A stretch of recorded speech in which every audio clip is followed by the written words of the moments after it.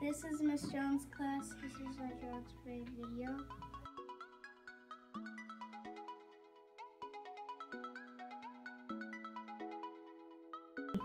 Do you want, Do you want drugs? drugs? No, Because I because, drug-free. because I want to be drug free. Because maybe it can mess up your lungs.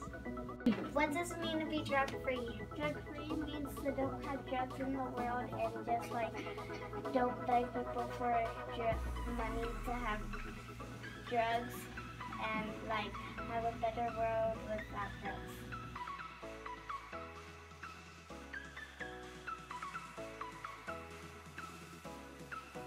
Why do we have Red Ribbon Week? Because in the future we do not want um, people, no smoking, no drinking, nothing else that's drugs.